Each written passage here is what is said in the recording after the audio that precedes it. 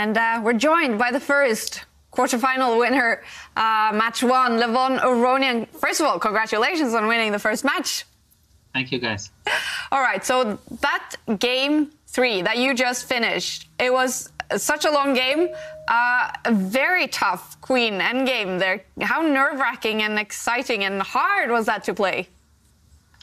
Uh, since I was leading in the match, you know, it's kind of a risk-free uh, environment, so it's pleasant just to try and uh, to score a win if possible. So it's a situation that, of course, it's very pleasant to find. Uh, um, you know, to, to get to get in. Yeah, of course, we we were following the bar the whole game. It was uh, saying a hundred uh, chance winning for you for a long time, but we did see you shake your head quite a lot there. So um, these Queen End games, how hard are they to play?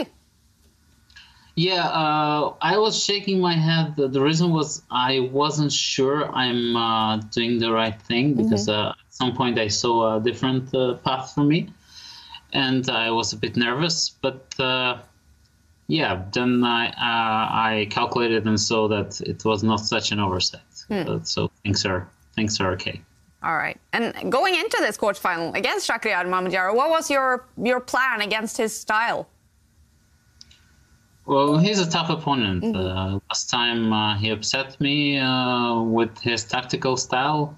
So, well, uh, not that I was playing too solidly, especially the second game, but I was generally trying to calculate a lot and to focus and to keep, uh, you know, my attention at all times because he's a very tricky player. Mm. So, but I'm sure he he is going to come tomorrow with uh, a lot of tricks up his sleeve. So I will have to continue doing what I'm doing. Yeah.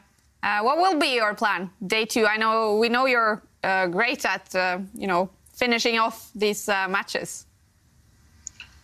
Oh, I'll try to just uh, continue what I was doing today. Just maybe I will look at uh, some opening ideas. I think what I got today in the second game was risky, so just to be more solid. Mm.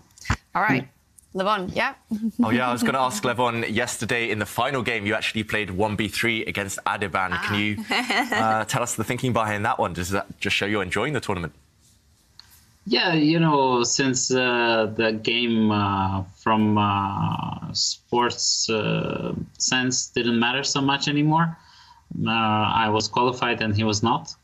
I just thought to have some fun and to play uh, Adhiban's opening but uh, yeah, I've got quite soon. I've got into trouble and and um, I managed to win that game, but of course uh, not because of my great opening idea.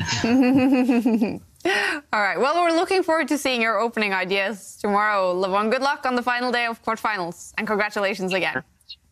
Thank you. Thanks for joining us.